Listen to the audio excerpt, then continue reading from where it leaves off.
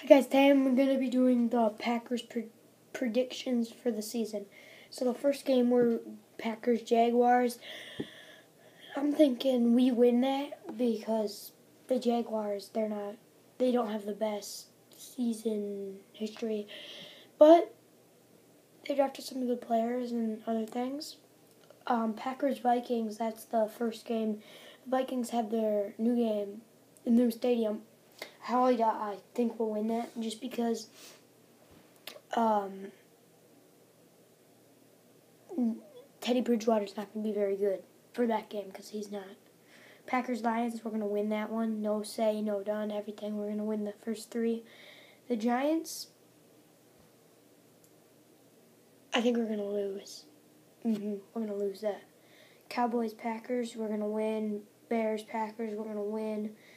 Packers Falcons, we're going to win. Packers Colts, we're going to win. Packers Titans, we're going to win.